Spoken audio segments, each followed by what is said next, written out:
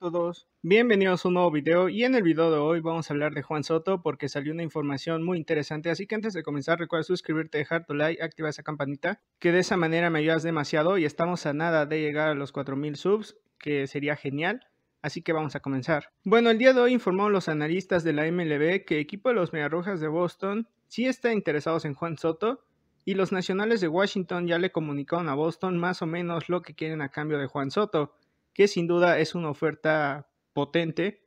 Eh, los Nacionales de Washington sabemos que es un equipo que necesita demasiado talento, por lo cual van a cambiar a Soto a cambio de la luna y las estrellas. Y bueno, desde ahorita les voy diciendo que no creo que Boston vaya a adquirir a Juan Soto, a lo mejor en agencia libre podría ser, pero no creo que vaya a hipotecar Bloom sus, sus fincas, sus valiosas fincas,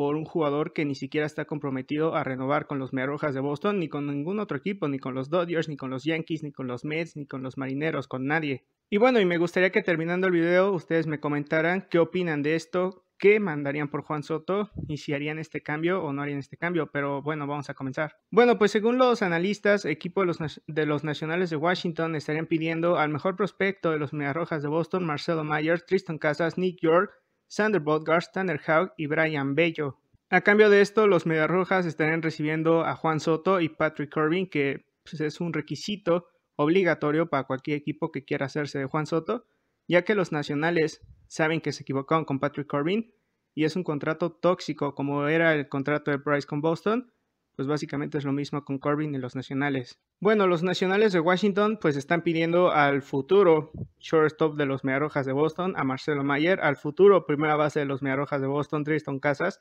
al futuro segunda base, Nick York, a Sander Bodgars, que dicen que la relación entre Boston y Sander está, está muy mal,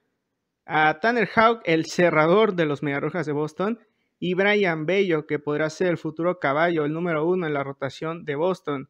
Bueno, desde ahorita yo no haría el cambio. ¿Por qué? Porque número uno, Boston está dando demasiado y número dos, Juan Soto no te garantiza que vaya a renovar con Boston. Imagínense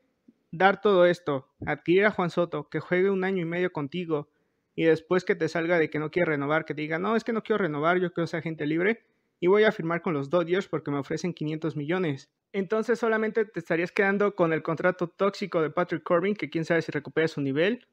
y sin tu futuro shortstop, sin tu futuro primera base y tu futuro segunda base y tu cerrador y tu futuro caballo, la verdad es que no. Y por lo de los nacionales, pues saben que si adquieren esto, claramente sería muy bueno para ellos porque tendrían a su futuro shortstop, a su futuro segunda base, en reemplazo de Josh Bell, que sería Tristan Casas, a Sander Bodgars, que le pueden pagar lo que quiere, a su, bueno, Tanner Howe, yo pienso que lo utilizarían como abridor relevista porque Tanner Howe pues era abridor y Boston lo utilizó como cerrador porque no tenemos cerrador. Entonces, pues los nacionales lo utilizarían como abridor y Brian Bello, que podrá ser un gran caballo y no habría presión como la hay en Boston. Yo, como repito, no haría este cambio. Me encantaría ver a Juan Soto en Boston, sí, pero por el precio correcto se me hace demasiado. Y bueno, ¿ustedes qué opinan? Recuerden dejármelo en los comentarios y ya sabes, suscríbete, deja tu like y hasta pronto.